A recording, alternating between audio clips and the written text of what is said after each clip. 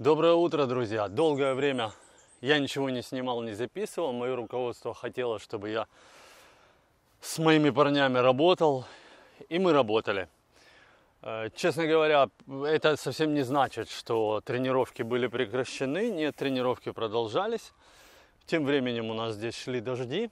Давно уже хотел вам рассказать об одном из упражнений, которые я вы, выполняю. У меня не было возможности им заниматься всерьез, и поэтому я так периодически к нему возвращался и думал о необходимости записать это видео. Сегодня мы поговорим об откатах назад. Мы говорили с вами о небольших откатах назад в видео, которое называлось «Когда я очень устал».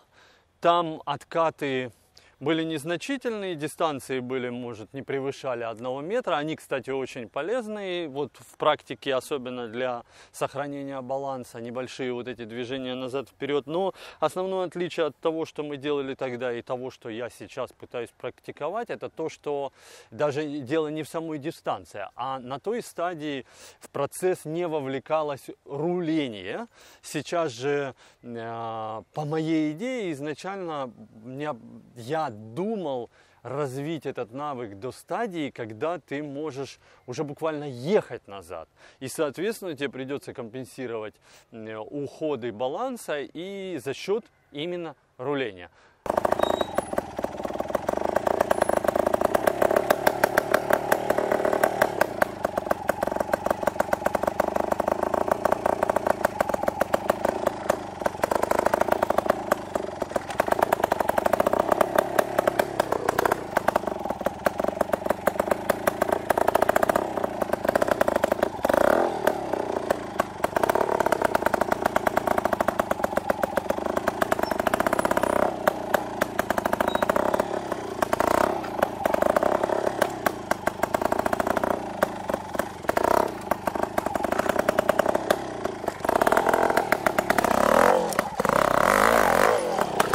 Качестве разминки вот я нашел себе такую, скажем так, ямочку, в которой можно откатиться, подкатиться, чтобы, ну, как бы приступить к этому упражнению и прочувствовать такими небольшими колебаниями само движение.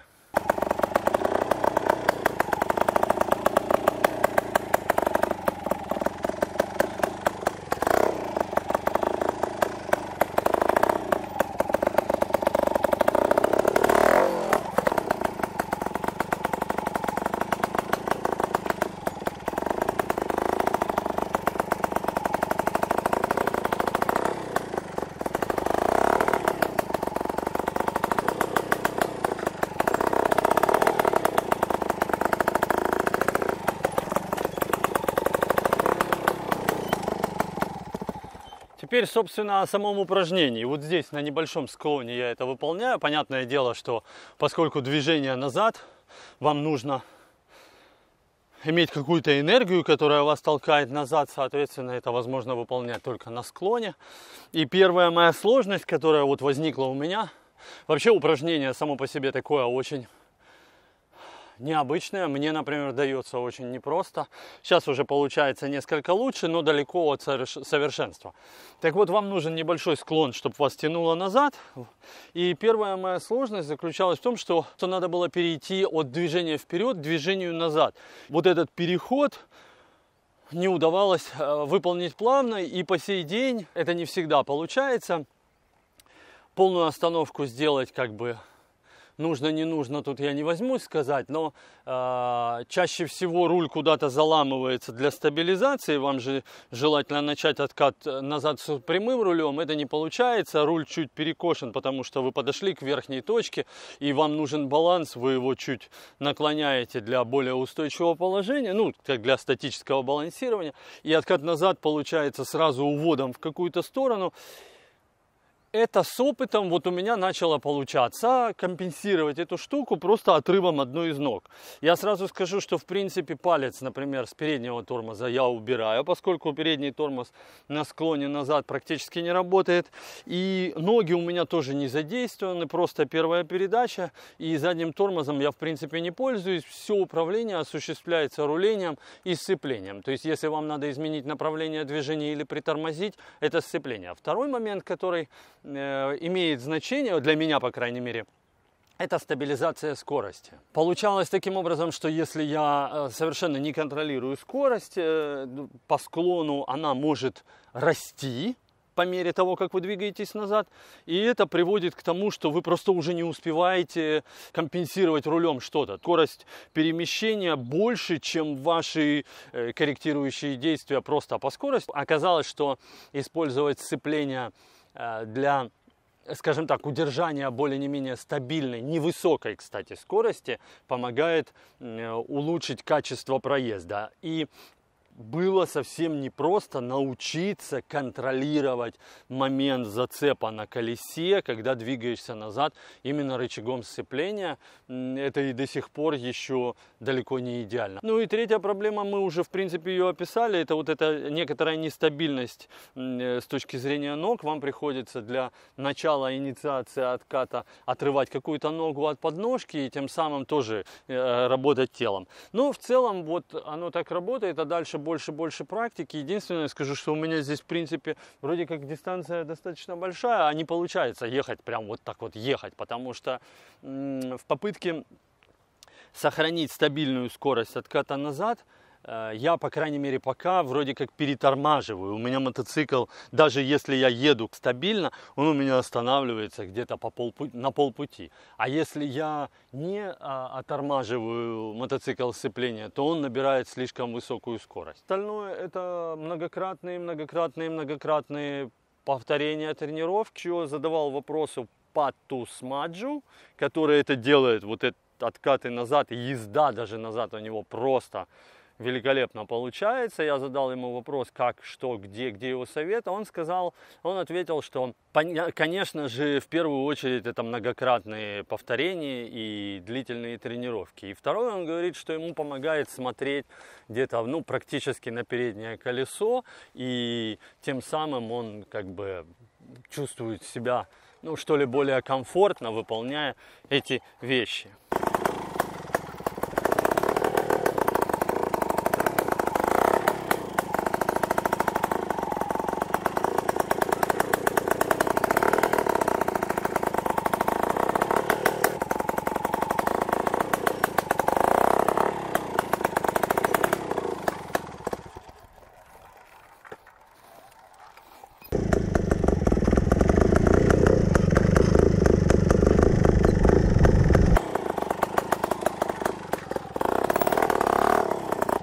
Еще одна проблема, которую вы можете, наверное, сейчас видеть в кадре. Мотоцикл едет назад, а я остаюсь в передней позиции и как бы наваливаюсь на руль, тем самым блокирую возможность его поворота и ухудшаю сам себе ситуацию за счет этого. Потребовалось немало времени заставить себя двигаться вместе с мотоциклом назад, а не оставаться в передней позиции. Сейчас это уже получается, в принципе, но почему-то прилагаются определенные усилия и тратятся силы на вот эту штуку.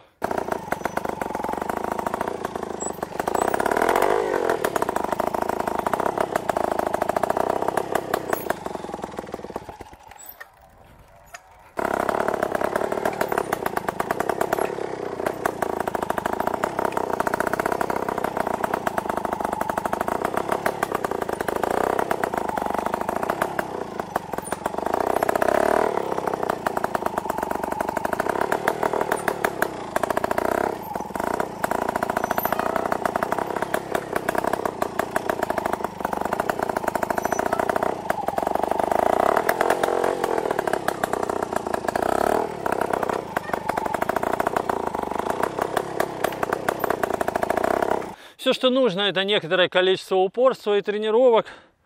И я надеюсь, у меня это получится.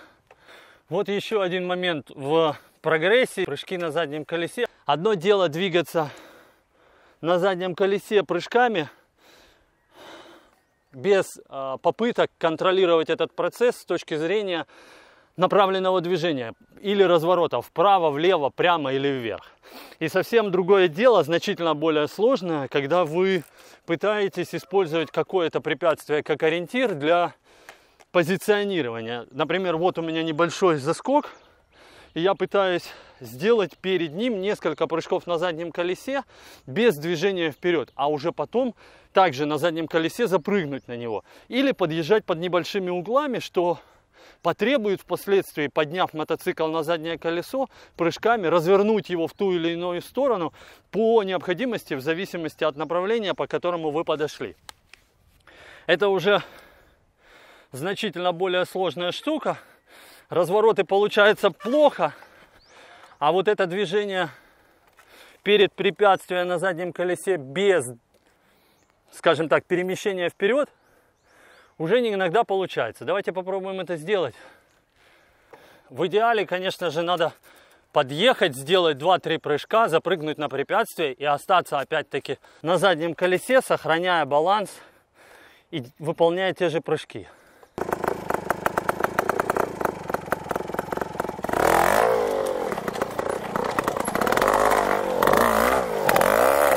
Для компенсации смещения баланса, есть возможность, выполняя хопы на заднем колесе, смещаться вправо, влево, вперед и назад. Если вы начинаете валиться назад, вы можете отпрыгнуть назад.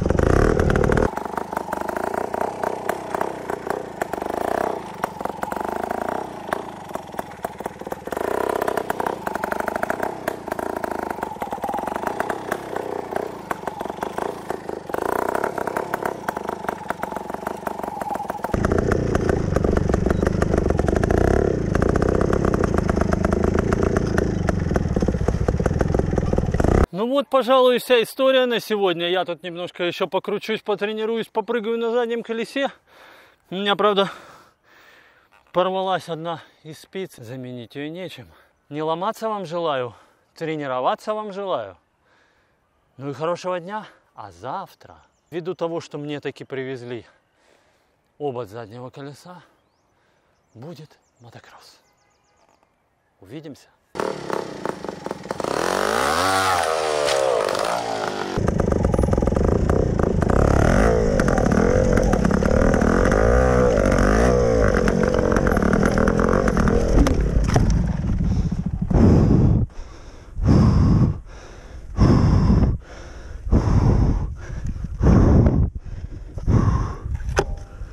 Блин, бревнышко меня подкосило.